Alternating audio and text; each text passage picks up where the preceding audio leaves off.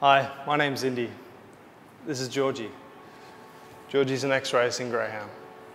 Greyhound racing is a brutal industry that uh, injures and kills thousands of dogs every year. Integrity, there's none there. 11,000 greyhounds bred each year. The government are very happy to give them millions and millions of dollars. I think that we will one day see a time here in Australia where we'll look back and say, I can't believe that we ever allowed that to go on.